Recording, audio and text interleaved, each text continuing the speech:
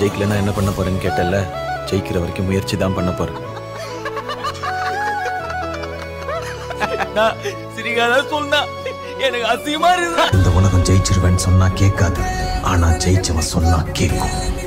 நீ எது பேசுறதா இருந்தாலும் ஜெயிச்சுட்டு பேசு இங்க எவன் ஜெயிக்கிறானோ இல்லையோ நான் ஜெயிச்சு காட்டுறேன்